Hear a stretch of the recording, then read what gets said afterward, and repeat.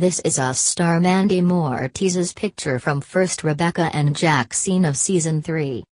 Fans of the NBC hit This Is Us super excited to see new episodes of their favorite show, and while they technically have to wait until Tuesday, September 25th for it to premiere, actress Mandy Moore, who plays Rebecca Pearson, has shared a snap on her Instagram from the first episode.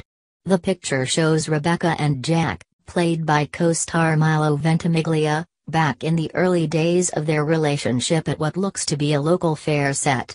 You can tell it's from the early days because it's before Jack had his mustache and Rebecca is wearing her trademark beret. The actress wrote the following caption on it. While this time period is a favorite because it gives great insight into the couple's love story before they became parents, Early reports were that the show would be turning the focus to Jack's time in Vietnam this season.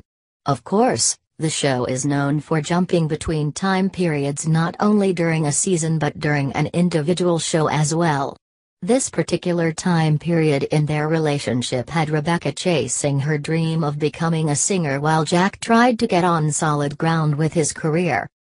Actors and crew have been sharing teasing images from their first days back on the set. An image was shared of Emmy winner Sterling K. Brown, who portrays Jack and Rebecca's grown son, Randall, on his character's kitchen set by the producer. The actor himself shared a video of himself with on-screen wife Susan Kelechi Watson, who plays Beth, doing the shiggy, as previously reported by. Inquisitr.